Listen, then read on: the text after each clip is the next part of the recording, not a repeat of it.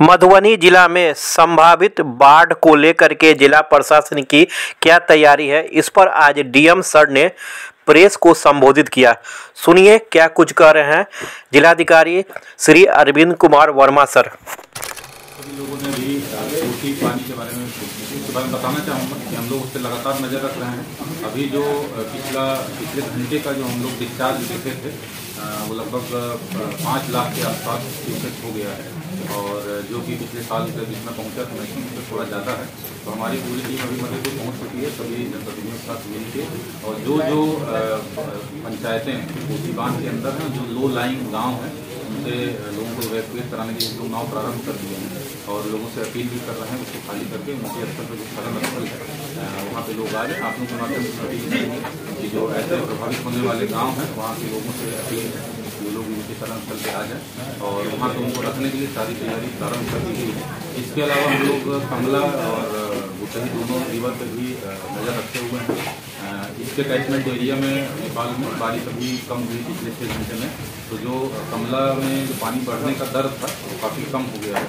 हालाँकि अड़सठ मीटर पार हो गया डेंजर लेवल से ज़्यादा है लेकिन लग रहा है अगले एक दो घंटे में स्टैटिक हो जाएगा। लेकिन बाढ़ भी लगातार सारे प्रशासनिक अधिकारी और सारे हमारे इंजीनियर फ्लड कंट्रोल की निगरानी रख रहे हैं। कहीं पे भी कोई रेन का चल सकता आता है तुरंत उसको हम लोग रिपेयर करवा रहे हैं। पूरी तरीके से हम अलर्ट हैं बस लाखों के माध्यम से लोगों से यही अपील करेंगे।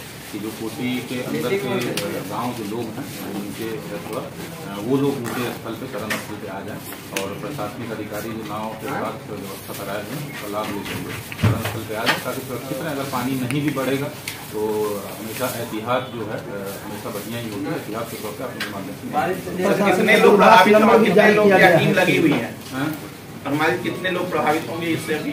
अभी लोग अभी जो अभी जो फीडबैक हम लोग लिए हैं उसमें छह पंचायतें तो प्रभावित होती हैं लेकिन आठ नौ वार्ड वहाँ पे थोड़ा ज़्यादा नीचे है बच्ची और गरगांव इन सबके तो उन लोगों को हम लोग सबसे पहले खाली कराने का अपील कर रहे हैं। और लगभग पच्चीस नाव हम लोग की वहाँ पे रेडी है उनको लाना शुरू भी कर दी है और सी आर एफ़ की टीम को कल रात में उन लोगों ने लखनऊ से हमारे को पहुँचा दिया है। उनकी भी तीन टीम है एक टीम रिज़र्व में रखे हुए हैं कहीं इमरजेंसी के लिए दो टीम वो भी काम करना शुरू कर दी है। और सारे एरियम आपका और अन्य प्रभारी डी डी सी एरियम सब लोग उधर ही हैं और लोगों से यही अपील कर रहे हैं जो दो लाइन मीडिया है तो सरल सर ये नंबर भी जारी किया गया है। हाँ दो हम लोग यहाँ कंट्रोल रूम का जो हमारा चौबीस घंटे का है उसका भी नंबर जारी किए हैं। वो नंबर आप से आप ठीक और किसी भी व्यक्ति को कोई भी जो रेस्क्यू टीम हमारी कर रही है अगर कहीं भी कोई ज़रूरत है तो उसमें उन तक नहीं पहुँच पाए उस नंबर पर सूचित कर सकते हैं। हमारा कंट्रोल मॉनिटर करके हर प्रकार की मदद पहुँचाएगा थैंक यू